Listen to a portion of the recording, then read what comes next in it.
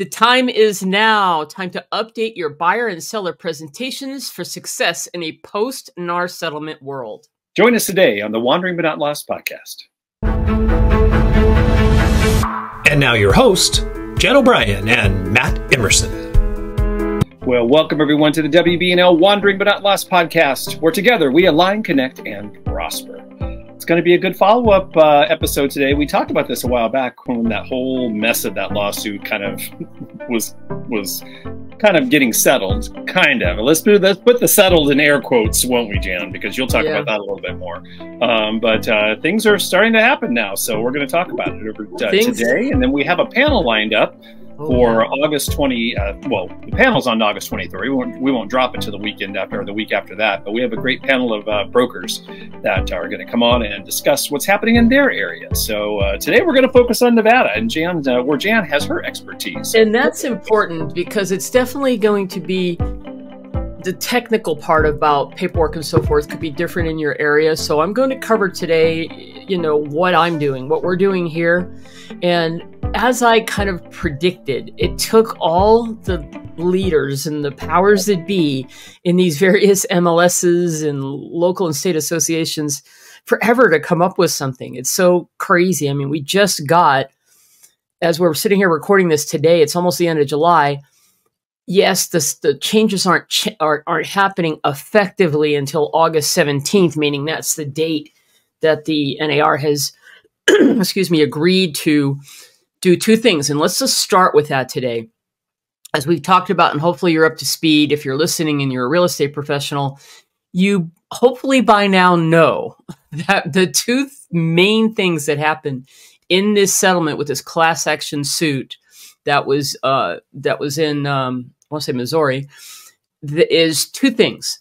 As of August 17th, no MLS can show a co-op all those fields that reference any kind of co-op, uh, paying a buyer's agent's commission, even for rentals, has to be removed by the MLS. That's number one. Number two, it prohibits the, or basically that's a prohibition. The second thing is that if you are a buyer's agent and you're going to work with a buyer before you show them property, as of August 17th, you must be in a written brokerage agreement with them. Very much like listing the buyer. We list the seller. Now we're going to list the buyer, which to me is the easiest way to just adjust to these changes, which is a huge change for a lot of realtors across the country.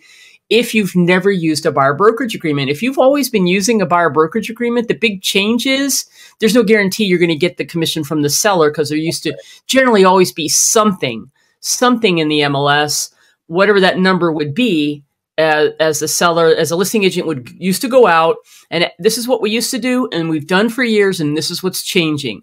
You go out to take a listing, now you just are negotiating for your side of the commission only in the listing agreement. There's no sharing of commission through the MLS. That's not to say that a seller can't offer commission to pay the buyer's agent, and that'll be a one off negotiation each time. So we're going to get into the details of that. So remember, those are the two things.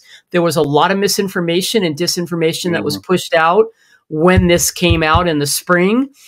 Now you notice that the way uh, news cycles work, we're past that. I think the majority of people don't even know about this when you go out on an appointment. Some Definitely. people might have heard of it. You're going to have to talk about this. And then you're going to have the people that say, well, it's against the law as a seller. I don't have to pay commission anymore. And you're going to have to deal with that. So we're going to talk about some of those things today, what you should be changing right now, and why we're having to change it in Nevada because our local MLS has decided to make these changes effective July 31st.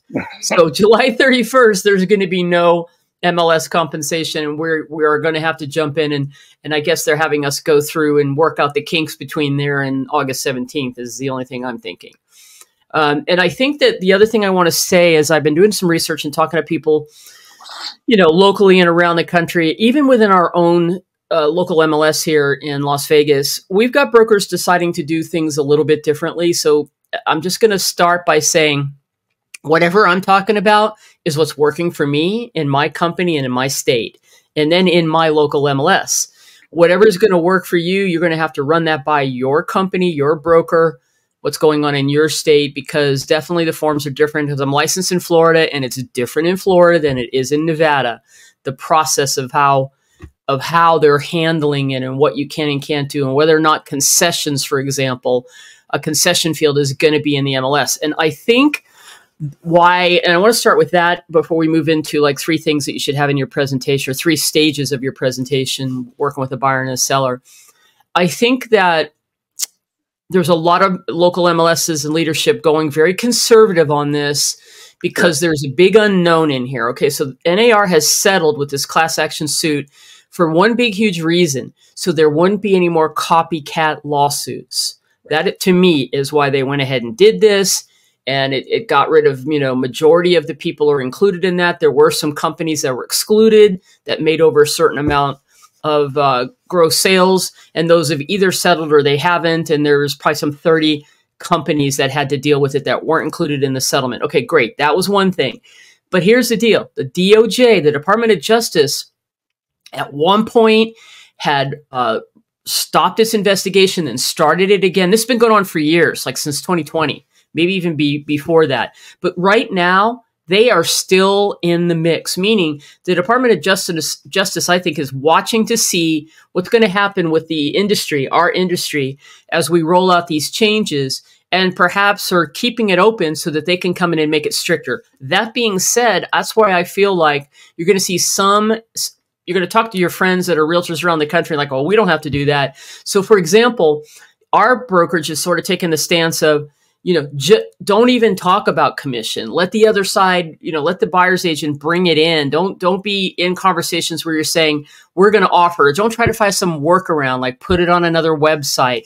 Right. Don't do any of that. So I feel like a lot of companies and uh, MLSs are going to go down that road because nobody wants to be able to have a, a case built up against them to say you said in good faith you were going to not tell sellers they have to offer compensation, which is what this lawsuit was about, which is not really what we did. We just mm-hmm. always have said, let's negotiate a commission and we're going to offer half of that out. Okay, so that's a big, huge paradigm shift for everybody right now. Okay, so just be aware of that. So let's talk about three areas of your when you work with buyers and sellers. Hopefully, we're all already doing this. Okay, so there's three stages, if you will. There's building trust which is in your initial conversation and phone call where you're setting up an appointment. That's the goal of that. Number two is you got to show your value. And we're going to talk about, like we do in the our sales builder program, we believe in doing a pre pre listing.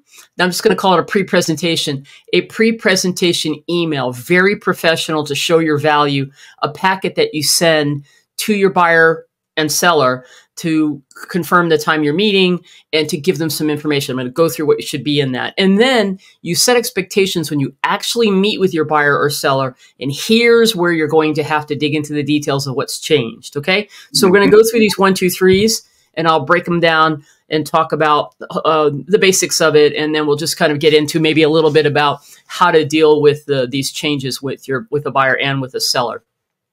So number one, build trust. This is your initial contact, your initial call. What's the purpose of a call, everybody? We're going back to basics here. It's not to give your whole full presentation. It's not to discuss commission. It's to get the information. What is their information? Like who are they? How do you contact them? What's their email? What's their time frame and motivation? Just a little bit. You're trying, know, maybe they called you. That's what happens to us, luckily. They called you. Maybe you're following up with a lead and they're they're saying, "Hey, I'm interested in buying a house in your area." Great, let me get some basic information. What's your time frame? Why are you moving to the Las Vegas area? Where are you in the process right now? Like, have you already been talking to other real estate agents? This is going to be important. Always has been important because now you're you're going to only want to work with people who are committed to working with you, and they're going to commit to work with you if you follow this process, where they feel like they can trust you and you can show your value, right? What are their basic wants and needs? Have they, are they clear about where they want to live? Do they know what they're look? They may know what they're looking for in a house, but why they're reaching out to you is they don't know the areas if they're not from your area, right? And then you want to schedule an appointment to meet. Boom, that's it. That's your first call. There's an opportunity for you to show your experience and your professionalism.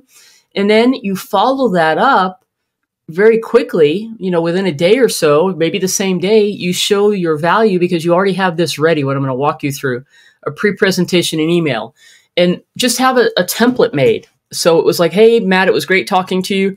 This is to confirm that we're meeting at our office located at this address. Click here for directions on this date and time. Okay. Then my recommendation is to put a couple videos, hey, to, to make this a real powerful meeting and answer a lot of questions that our clients have. We've right. prepared these videos for you and just have these videos, just record these videos. They could be simple videos that you might, maybe you already have on social media, or if not, and you're not using videos, um, maybe you should start using videos. Number, yeah. number one, or put this information into like a sheet or something that is some frequently asked questions if you're afraid of doing videos. So it could be everything from steps in buying a home here in our local area. You know, so steps in buying a Las Vegas home is when we have, you know, what are buyer closing costs when you're buying a home here in our area? Uh, we have one that's like um, you don't have to overwhelm them with them. I'm just giving you some ideas. Uh, what are the people always ask? How much money do I have to come in? How much money am I going to have to come in with upfront? We've got a video that talks about earnest money and deposit and having to pay for an inspection and maybe a credit report, and then how the rest of it comes into closing costs, right? So um, it you know it, you can I wouldn't you could if you wanted to, which is what I'm about to consider now. Work this out in the next few weeks as it's the end of July uh, buyer agent compensation, ways we are paid. Once everybody knows that they have to work with an agent and sign a contract, and maybe it's you know you're comfortable talking about. We'll talk more about this, but this is the way we. I haven't decided if I want to put that in this initial email or not, but that could be buyer's agent compensation, ways we can get paid, how we're going to work on your behalf. Okay. And then I think you need some kind of like home buyer's guide, which could be basically a lot of those things I just mentioned. So maybe you have a couple videos highlighting the key things that they need to know, which again shows your value and your professionalism. And then you kind of have your, uh, you could have your little buyer presentation, which is what I'm going to talk about next, so they could review it. And we're and it's kind of like a listing presentation. We always had a buyer consultation, right, Matt? We've always taught that. Absolutely. Um, and now now you're going to have a few more things in it, so you might as well go ahead and start thinking about a video on explaining how compensation is paid, which would get them thinking about it. So when you meet, it's like they've if they've looked at it, they're a little bit prepared. They may have more questions, but hey, you're now taking them down to step three, which is setting the expectation in the consultation where you're meeting them in person, or maybe you're meeting them via Zoom to get their commitment because they're coming in into town next week or the week after as a buyer, for example, and you need to go ahead and send out that buyer agreement. Okay. So in this phase, set an agenda, make it a professional meeting. Okay. Hey, Matt, it was great. It was great talking to you. Did you get a chance to review any of the documents I sent you? So you can get a sense of you're gonna how much how far you're gonna have to go in. You have to start from the beginning, or did they get a lot of the basics covered? I always like to find out if they've purchased a home or not before. And if they have, because a couple things, if they're first time home buyer, lots of education, yeah. lots of patience and consultation and and educating. That's what people want, coaching people through the process, even if they have bought homes before. And if they have, they may not have bought a home in your area, which could be completely different. They might have used attorneys back east, or they might have had different things that were common in the area that they purchased. So, you know, just be aware of that. So, here's what we're doing in this agenda in the agenda right away, we're going to confirm what we already found out in our initial conversation. Is anything changed? And we could dig deeper into the details there. This is where you can really get into the home buying process, and you should have a slide in there. There's lots of great, you know, things from that everybody has that just basically is the flow chart, right? Mm-hmm. It's the the the roadmap to buyers to working with a buy, with an agent to buy a home you need to have that type of thing in there. You need to talk about the market. So have something that's going to trigger you in your presentation. Let's talk about what's happening in the market. That's where your professionalism and your expertise comes into what's going on right now. It's a great opportunity to say, let's share with you a couple recent scenarios that we had, success stories. And I love this part of the presentation where you can add maybe three or four recent sales. You don't have to put the specifics in like the address and this. You can just have, you know, this property, maybe a picture of it. It can have an address or whatever, but it's going to say, what did you do for that buyer? Meaning we got them this interest rate. We negotiated these closing costs. You know, th- that's where you're going to start seeing how you're going to show in your recent transactions, how hard you work for your client. Yep. Okay. I think that's so powerful. A little bit about why hire us. That's where you could have testimonials in addition to just your backstory, a little bit about you so they know that if they haven't already Googled you. And that's going, now you, you're going to go do all of this. You're going to spend a lot of time on what are you looking for? You know, what we do is let's go pull up a map of the city. Let's go into the MLS and start putting in the information of what you're looking for and start showing you some examples you know, uh, let's go look at the new homes and then let's line up a tour. You know, if we're not going to go tour today and we're just meeting to get the clarification, which is what happens with us. A lot of people want to have this whole, we really want to understand the process, then we'll go. Uh, we'll go schedule some time to, with you to go look at houses. And what we do is go through this, and then we follow it up with a very detailed. Here's everything based on what we talked about, and this works with obviously if we're via Zoom and said, why don't you look through this list of all these properties so you can tell us which ones you want to go look at, right? That's where you're going to be able to get, you know that you're going to follow up with that. But here's where in this presentation, you're going to be able to set up the agreement, reviewing the paperwork, just like you would at a listing presentation. Right. We're at the end of the listing presentation, and I'm Mr. and Mrs. Seller. If you're ready to move forward, why don't we go through the paperwork right now, and I'll tell you what we're going to do next so I can get your house on the market. Now it's going to be Mr. and Mrs. Buyer. Let's review the paperwork. As I've mentioned earlier, uh, you know, every real estate agent is required now, every realtor is required to have a buyer brokerage agreement, which outlines how we're compensated. So I'm going to take you through that process right now. The various ways that we can negotiate either getting that compensation paid by the seller or how we're going to put the transaction together for you. So let's go through that right now. Okay. Hey, talk about talk about the importance of having that conversation and getting that agreement signed up front because my gut is telling me that agents are still going to be taking people out without that written uh, agreement and thinking in their head, I'm going to build more trust while I'm showing homes and I'll get them to yeah. sign before they do it. Because don't you think that's going to happen? Yeah. And honestly, this is where there's confusion in different markets where some brokers and places may be allowing a showing um, right. you know, a showing thing, you know, a, a, a, like Zillow came out with that touring agreement.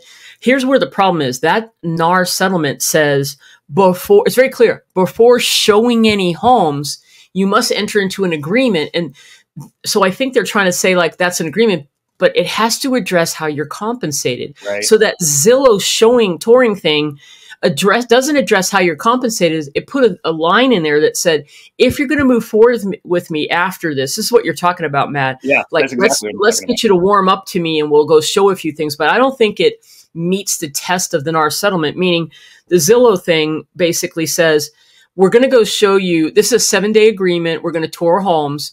If you decide that you want to work with me, we're then going to do another agreement where I'll outline the compensation and how I'm paid. That to me doesn't meet the test. Now, and I think that's what there's confusion about this. Yeah, and I think so, it's gonna, it'll be interesting to watch how this washes out. Because the buyer brokerage representation agreement is what they've decided to call it in our neck of the woods. Hmm. Um, very clearly has a paragraph that says you have to put in what your compensation is. So let me let me um, come back to that because I'm going to talk first about what you have to put in your seller presentation. So Got let's it. switch gears and we'll go to the seller right now, and then I'll finish up with the buyer.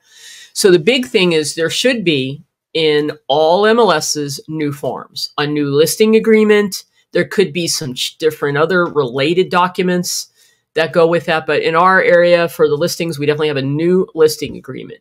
And in the biggest change, the only really huge change in there is in our MLS, we had already taken out let me back up. So we've gone through a lot of iterations. We've gone through you take a listing, you negotiate a commission of X, and then you have to put in what part of X are you going to give to the buyer's agent.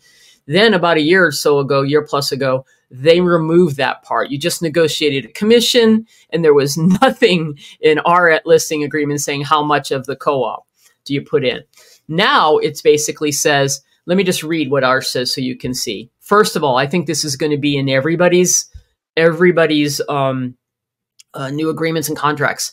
Big bold letters. Compensation slash commissions are not set by law or by any realtor association. They are fully negotiable. By the way, they've always been negotiable, but that is what I think NAR is just kind of mandating in everybody. And it's smart. They're fully negotiable. And that's where you've got to get your negotiation chops, you know, really squared away and you've got to work on that skill and hone that skill if you're not good at that. Well, of course they're negotiable. This is what we charge, and I'll talk about how we're going to handle that. Um, this commission, people always ask us if it's negotiable, and we're like, yeah, this is what it is. And you know, if you don't want us to do these things, then we'll do that. All right. We've just gotten people to agree to where our commission is. If you want a cheaper commission, that's not us. There's definitely people out there that'll do it for less, but they're not going to provide the same services, and that's not us. So it's okay if you don't want us to work for you. Um, this commission is exclusively for the listing broker services and is not subject to sharing. I mean, that's literally what it says in ours. Crazy. Sharing, splitting, or otherwise distributing to any buyer's broker or agent. The seller acknowledges that any commission arrangement with a buyer's broker, if applicable, must be covered by a separate agreement, residential purchase agreement, and is not covered under this listing agreement. So ours is pretty clear. It basically says, I'm coming out we're negotiating my services and what my fee, my compensation is for providing those services. Here's what I'm going to do. Here's my marketing plan. And oh, by the way, the buyer's agent, um, we're not, we cannot put it in the MLS any longer. That was the big change, as I just mentioned, as we were talking. But be prepared because the purchase agreement yeah. now has a clause that asks you to pay their commission to, to their to their agent. So then I would go over that, and I'll cover that in just a second when I go through the buyer stuff.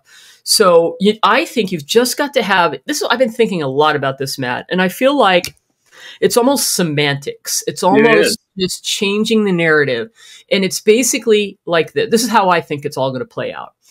I think it's basically can't put it in the MLS anymore for years and years and years, it was always put into the contract, meaning the buyer came in with an offer that included all the commissions and all the closing costs. So now we're going to have a separation of that. You're negotiating with me, but be prepared 90% of the time, depending on the market. Okay, let me just say that it's going to be market driven. If we're in an extreme seller's market, then you're going to see the, you know, not necessarily, but for the most part, the deals where the seller doesn't have to pay commission because that agent is getting paid by their buyer are maybe going to net more. It's always going to come down to the net, in my opinion. The terms to the seller and the net. Because sometimes the seller, maybe the seller needs to rent back for a month for free. That's enough to have them pay your commission yep. on the other side if you're the buyer's agent and you came in at a net a price that gave them a net that beat the cash deal that didn't want to give you a rent back do you see what I'm saying? So every negotiation is going to be specific to what is the goal of that seller and the goal of that buyer and how are you going to negotiate it? Okay. So I think it's just, we're not doing it up front. It's going to be over here negotiated in the offer. It's all going to come out the same way in the end. Okay. Depending on the market. Now, a couple things with the seller dual agency. Can you do that? We call it consent to act here in Nevada. Some states don't allow it. If you do, you need to i'm just going to throw the questions out. You need to go address this and get the answers for yourself in your area. Can first of all you represent both the buyer and seller? And if you can do you want to? I, I think there's a conflict of interest but it's going to be interesting because i believe there will be buyers who have bought homes before and they already do it now. So there's going to be buyers going i'm not paying the commission. I'm going right to the listing agent and i'm going to get a negotiated deal. And i'm you know and so that's where you've got to discuss how you're going to disclose this, and then what is going to be your negotiation of with the seller when you take the listing. You have to address this. So if you can do dual agency in your in your city, you need to find out are we allow are you allowed in your area in your brokerage to negotiate X percent for the listing side, but if our marketing results in a buyer contacting us that's not represented by another agent, how do you get compensated? Are you going to do that for nothing? Are you going to just do it as, you know, I'm not. So I'm either going to refer it or I'm going to negotiate something and it's either do you put that in the listing agreement? It's X if I just represent you, it's Y if we bring the buyer also because of our marketing. You got to find out if you can do that. Or like currently how our brokerage is looking at it, like they don't want us to address it, but then I'm talking to another broker who's saying, yeah, we're going to address that. We're going to put that situation in the uh, listing agreement these are the things that has to be fluid right now until everybody kind of figures out what's the right way to do it. But right now, our our company has taken a stand. Let the buyer's agent come in and, uh, I mean, not the buyer's agent. you would have to come in and ask for the commission. So you still have to talk to them about it. So I think people haven't really thought it through, to be honest. And then what forms are required? Okay, so that's a whole nother animal. And all right, so here's the deal with sellers. Like always, you go through that process. You have to discuss the conditions. You go through your normal listing presentation, talk about what's happening in market conditions. I think you not you must must must talk about concessions and closing costs, especially if as we move into this period, you know, as we get started with it, you know how, because you were using it hopefully in all your CMAs, which you're not going to be able to know right now because in our market, they are not going to put in the sold area concessions, which I think is a mistake, and I bet that will change. It's going to hurt appraisals. Now, what I mean is when you close a deal as a listing agent, you have to fill that area out, right? That says what did when did it close? What was the condition? Were there any seller concessions? And what was the price? Well, appraisers pull that up and they put it specifically in their appraisals to go that comp sold for 400 but they gave 20,000 in concessions. Now, yeah. We're being told that is not going to be in our MLS. So now what do appraisers do? They're winging it. I mean, do you see? I mean, like I'm sitting here going through this and I have gone through this presentation what we're going to do for this podcast, and there's still unanswered questions, and this is what's very frustrating. Okay. Yeah. So anyway, that is going to be interesting. But right now, you know, you can have a conversation that says, look, in the last year, 50% or 60% of every sale had some concession in it. And up until this point in our MLS, 99% of every seller selling a house was offering some kind of commission. I don't think that's going to change overnight. It's just how it is asked for is what's changing. Right. It's going to be in the offer. So we need to be prepared for it. So let me show you a net sheet, you know, of we'll deal with the net sheet. I always do a net sheet and I do what I think the house is going to sell for. And then I say not I never do it at the list price unless list price is below market. I do it for what I think I'm telling them that I think it's going to sell for. But now what I'm going to do is say we could maybe go here's one with Here's one where maybe they come in and we negotiate the list price. And right. that's because this is where the difference is. If you do a net sheet that's about two and a half to three percent below the list price, and then you do a net sheet at list price with the commission, guess what the net is going to be? About the same. Yeah. So that's setting the seller up to understand it can it's if it's about if it, if net is what's important to you then let us negotiate that on on behalf of you if you have somebody that's like the law says i don't have to pay a commission you got to clear it up. That's not what it says. It says that you you can't put in the MLS and advertise that you're uh, we can't share commission anymore. It's on the buyer's agent to come in and negotiate that and ask for it and put it into their offer in some way that benefits you. Our job is to make sure it benefits you. So that's what we're going to do, right? So you have to have the conversation with them and have them prepared and don't get in the mindset that no one is ever going to ask you for that. Right now in our market, homes aren't all selling off the shelf.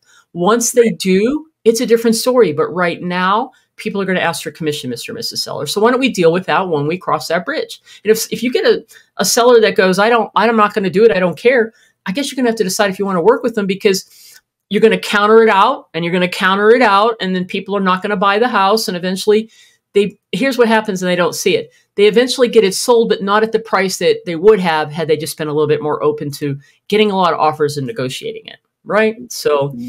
anyway, you've got to talk about that. It could be you pay for it, you pay a part. I mean, it could be that they ask for it, we counter it out. They have an agreement with their buyer's aid with their buyer. Maybe it's a combination thereof. A part comes from them, a part comes from you, or the buyer pays their agent. But if the buyer pays their agent, Mr. Seller, this I'm just trying to help you see how I'm going to discuss it. If a buyer is going to have to pay their agent whatever, two and a half, three percent, whatever the number is that they negotiate, they're probably going to make that up in the offer to you. That's why I showed you these two net sheets. See, that's that's the that's the thing we're going to have to get comfortable just helping people.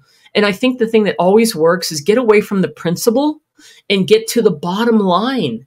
Absolutely. What's Preach. the bottom line? There are people who are hung up on I'm not going to do it because I don't want to do it or I don't have to do it. That's in my mindset.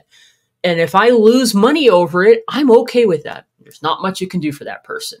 But if you can help someone in a positive way, say, what are your goals? Ask them straight up. Seller, what's your, what are your goals? Are you wanting the quickest sale? Or, okay, then maybe you're not going to get as much money you want the quickest sale because that is the most important thing. We cannot be up here testing the market. Right. Okay, what do you want? You want you want the most money? This is the process that we have to follow, and we've got to be competitive. And you got to allow me to negotiate for you. You know, do you want these other terms? Well, I'm going to do these things, and I'm going to let the other agents know that these are the best terms that are going to help you know, if you give me the permission, then we'll try to get those kind of offers for you. Okay. So focus on their goals and then always do a net sheet. And that is the way it's all going to work out. Listen, I feel it's all going to be fine. I just think we're going to go through that awkward time where everybody's trying to figure it out, just like when we had to start doing short sales. Just like when all of a sudden there were so many uh, offers and nobody knew how to do multiple counter offers. We're going through a paradigm shift, okay? A huge paradigm shift of yeah. how we do things. All right. Last thing, let's talk about what kind of how to do it in the buyer presentation. So again, form, you're going to have some forms. We have a new buyer brokerage representation agreement, the BBRA. Okay. The key things that are going to be in any brokerage agreement, whether it's a listing or a buyer, is going to be there has to be a time frame. So you can put it in for as long as you want, right? It's whatever you agree to. It could be six months, it could be a month, it could be for the two weeks that you're here, you know, whatever. Our brokerage agreement has a little bit about what they're looking for and then areas. So you can go general areas, even has a place to list properties. You know, do you are you going to go show them certain properties? So there's a it's a multiple ways to use this form. You're going to use it based on your circumstance. Now the big thing, of course, is there is a commission amount clause, and it's just either going to be a percentage or a flat fee. Our brokerage right now is not allowing any kind of hourly or advance fees there's none of that in the brokerage agreement. It's basically a percentage or a flat fee. And there's a statement in there that says you cannot receive any amount higher than what you negotiate with the buyer. That's important. That was part of the settlement. It was basically you before you start working with a buyer, you must have a written agreement that outlines how you're compensated, what you're compensated, the, the amount you're compensated, and it can't be higher later does it can go lower, but you can't say it's two and then accept a three. That's a problem. So, you know, do it accordingly. Um, and then there was a clause in our brokerage agreement, just to help you understand if you haven't seen yours yet, that says this, which which is telling the buyer, I can do this if you tell me you want me to negotiate on your behalf. So it's collecting broker's fee from the seller. Buyer may choose to negotiate that the broker fee be paid in whole or in part by the seller as a credit to buyer at closing and or by the seller directly to the broker. At uh, buyer's instruction, broker will include either or both of these in the buyer's offer to purchase a property. Okay, buyer will help buyer negotiate these with the seller. Broker will not retain any amount from any source that exceeds the amount agreed upon. So it's in there twice. Okay. So very crazy. And then last thing here is going through how you can be compensated. So now you're in this part of the presentation with the buyer. You've gone over, um, you're, you're going through the form with them and you get to that part where the compensation is and you can read, I would read that right out loud and basically say, there are a couple ways we can do this. You can instruct me that will always ask, let me show you the, let me show you the purchase agreement where it is right here. And in our purchase agreement on page two, mm. this is what it says. Buyer representative broker compensation at the close of escrow or the exchange of the subject property seller shall pay the buyer's representative buyer's broker um, blank percent of the grace of the gross sales price of the property or a flat amount. There it is. That's all it is. It's very simple. It's basically seller agrees to pay x to the buyer's agent at close of escrow. So the buyer could pay a difference, right? So you could negotiate and you're going to come in and, you know, I think most buyers, unless they're really wanting to get a competitive offer and they have the cash to pay you, are going to say, let's see if we can get it. You sure? And if, and if we're going to get it, we're not, this is where you have to go. We're not going to get 20,000 off the list price and get your closing costs paid for and get my compensation paid for. So let's talk about it. What do you want to do? And that story, that conversation is dependent on what's happening right now in your market. And further, what's happening on that property in your market right now, because your market might be 60 days to get a property sold, but this house is a hot property and everybody wants it and there's multiple offers. Now, that's a completely different discussion with your buyer. Okay. So I mean, it, it, it, to me, it's common sense. It's a little scary for people because maybe we've just all been lulled, and we have uh, all these years. You never had to worry about your buyer having to pay you unless you did in your market because of the way the MLS and the way the Association of Realtors for years and years and years have run this model. That is disappearing, and that's what's freaking people out. And I just think it's a mindset shift. I really do. Then obviously the buyer could pay all the commission. Okay. Um, last couple things that are another, you know, not to end with more questions, but it is what it is. We'll, we'll keep on reporting it. Here's some good news. We do know that um, Fannie, Fannie and Freddie came out back in like April, like after all this announcement, and and basically said to everybody, we are aware of the settlement and we are stating that if a seller chooses to pay a buyer's agent commission, that will not count towards the closing cost concession based on the kind of loan that um, the buyer's doing. So, for example, depending on how much they put down, it could be four or five, six percent seller concession on a conventional loan. Um, if if if you're trying to get that for your buyer and get your compensation paid, your compensation is not included in that uh, four, five, or six percent. That's good news for us. The the VA and FHA, FHA and VA haven't come out and said the same thing. VA did come out and say, however, they are temporarily changing the rule that says buyers cannot pay any commissions because forever you couldn't charge a transaction fee. Now VA buyers can pay commissions, so that's a movement in the right direction. And the biggest thing that's ultimately, I believe, going to happen, I feel, I think it will, is as things roll out and the various government programs and stuff start realizing that there are certain groups of people who are really maybe struggling more and it's the people that never can buy homes okay because they don't have as much assets or they don't have as much you know down payment i think that we'll see that there might be a way lenders will allow federally backed loans and stuff will allow the financing of a commission or a portion of the commission. And that might be what people are willing to do, uh, you know, to be able to purchase a home, you know, for now, if it gets them into the house and the conditions are right, that it can create, you know, a value and appreciate and so forth and build their wealth, right? So, anyway, that's where we're at. Uh, I feel like there's a few unanswered questions, but I'm not worried about it. We're going to figure it out as we go. And by the time we have our panel in mid, uh, end uh, what third week of August, right? Um, then I think we'll have. Uh, I think we're getting some information from California.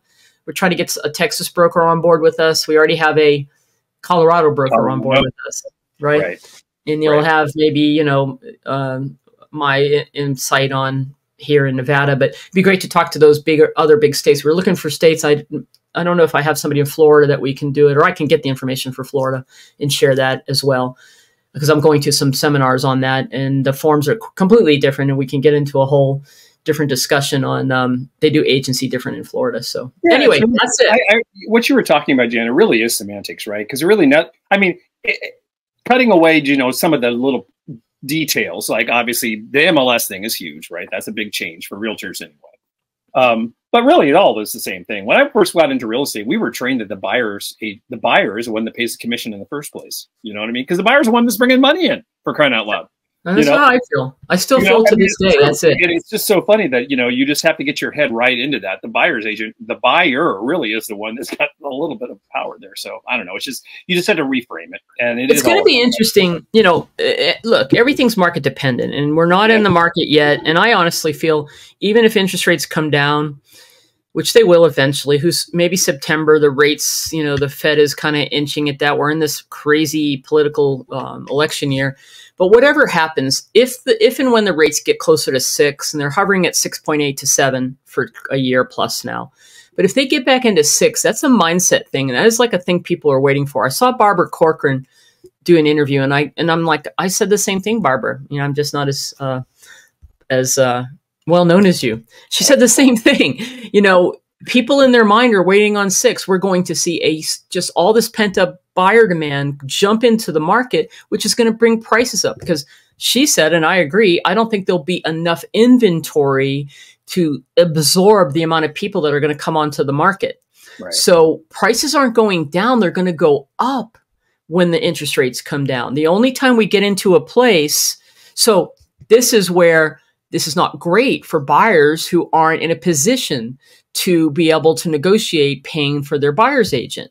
So we're saying we might have to sit down with people and we're consulting a first time home buyer and say, you may need to go ahead. The market has shifted now. You need money for your down payment. You can get a gift letter. Here's all the ways that you can do it. Or you need to save some more money because to be able to be competitive, since you can't finance your commission yet, we can't work for free. We're going to really get, you know, this is how we work. Look at how we get people into homes. If you want us to represent you through this scary process, then this is our commission and you're going to have to be able to pay it right? So that's a tough conversation to have with people, but it's real, isn't it? Yeah. Uh, let me help you get real about how. Now, I don't think that's the case right now. I think we are going to all day long get compensation from the seller right now in our market, unless the house. Right now, we're losing homes because of better our cash deals or something because it's a beautiful home, it's priced right, and it's updated. That's not one you were going to get you know, because of, of, of, the because you're asking for closing costs. You can't buy a house unless you get the seller to pay closing costs. So everything is going to be very super dependent on your buyer and the market and the situation and the motivation of the seller, like it always has been. Again, I'm just saying, get your mind around. It's not over here in the MLS. It's not a guarantee of anything because that's what it was. If they had a number in there they couldn't change that because you could take them to the board and get your money sure. if they somehow changed it. So now we don't have that guarantee. The guarantee comes because you qualify, you go through the process we talked about today, you choose to work with someone, you do that to see if the people are wanting to work with you and you want to work with them, and you move forward and you sign an agreement. So you're only working with motivated people who have the ability to purchase and are ready to make a decision. Otherwise, say, hey, let me just continue to consult with you, keep you in my newsletter. And when the time's right after you do these things, you've talked to our lender, we'll be ready to help you. Moving on. That's what I think you have to do. It'll so. be interesting to see how it's covered in the news as well, because um, or will it even be covered?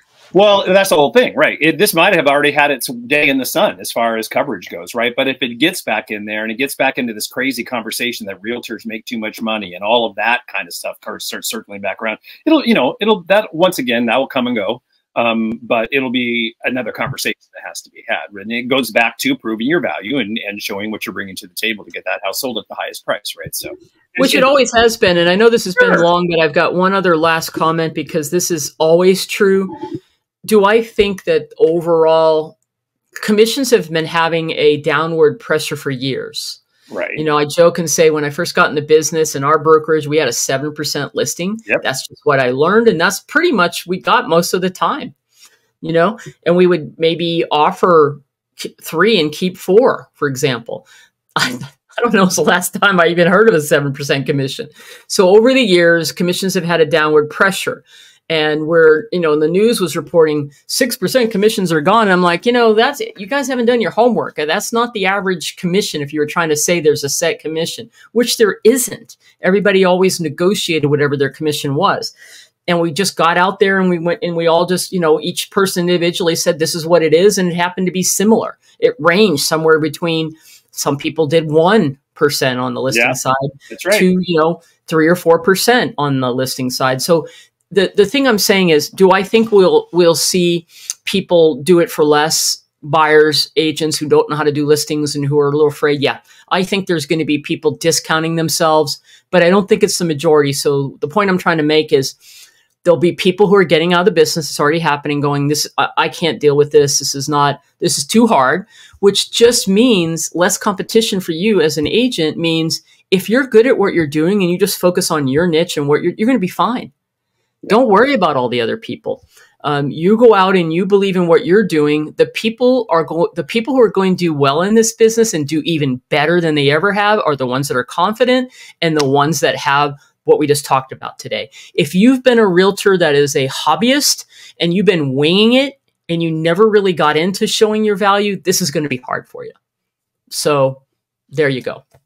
Become a student of the net sheet right? Yeah, be on the side of the being the professional. And if you're a hobbyist, you know, maybe just go put it in part-time status and get a referral and get it to somebody, you know, that's going to be able to handle these changes. Okay. I mean, I know some, I kind of sound like I'm being a little mean, but I'm like, it's, it's going to separate yeah. the, the people who know what they're doing and the people Absolutely. that don't, because what I'm trying to say is the old way, allowed part of what I think is the problem we've had in the industry. People who really didn't know what they were doing or weren't trained or joined a company that didn't really help them or they didn't really care to go get help and they still yeah. got paid. They yeah. still got paid. Those people are not nec- are going to say, well, I don't know how to do this. I need to get out or I'll do it for a, a, a you know, a percentage a lot less than everyone else because I don't know how to because I don't I don't see my value. There'll be a little of that, but that'll go away too. Anyway, I've been rambling enough today. Thank you. all right. Well, you, can, get all this information over on our show notes at WBNLpodcast.com. This is an episode two, excuse me, 302. Um, we'll have all the information we talked about in here, plus links to some other things. I, you know, I think, Jan, I'm going to go back to, I forgot which course, it's in our uh, sales builder course. We have the flow of a buyer and a flow of a seller, and it's really detailed with all the different steps that uh, you go through with your your clients. I'll put those that uh, those images in the show notes as well uh, just to, you know to give you some uh, uh, something to look at and reference to add to your value as you're looking through our show notes there. So that's over at WBNLpodcast.com, episode 302. We do have that panel coming up. Let me find the date for that. Talk amongst yourself. Let me grab Yeah, and, when, and honestly, we will be updating our sales builder um, to add a, a lesson once I kind of get that because we do have in our we do have in our um, downloads in Sales Builder a right. listing presentation, pre-listing presentation, buyer consultation. We'll be updating that, and I'll probably be you know recording soon. As soon want to wait until all the little last minute things weigh out, and then the coming there'll months be, there'll be a lot yeah, of those. There'll be changes, so we'll once I have that and we've gone a couple months with the change, we'll update the Sales Builder and we'll let you know back here that we've Absolutely. done that. And that uh, panel presentation will actually drop on Tuesday, August 27th. So that's the okay. date you can put in your calendar to uh, watch the panel. Um, Jan, I want to talk about that. Maybe we should do that live. Let's check that out. Let's talk about that. Okay. Oh, let's I love it. That'd be Ooh. kind of fun. Huh? So let's let's let's let's let's discuss that over the next right. 30 days. I love it. Uh, if you are a um, uh, looking, if you're a broker, a team leader, or um, you know own a uh, or, looking for a way to train agents that work under under you, we still have our July summer special running on our real estate sales builder certification course. If you go over to WBNLcoaching.com, uh, you can use coupon code RSBC24 and you get 20% off. I think it's 20% off. 20% off of the price of the real estate sales builder certification course that runs until July 31st, so right around the corner. The same time that they're taking the um, commission off of the MLS in Nevada. So there you right, go. Very good. So go check that out. All right. Anything else, Jan O'Brien? That's it. Alrighty, everyone. Be forever wandering, but not lost. Oh, there we Cheers. go. Cheers, Jan O'Brien. Cheers, Matt Emerson.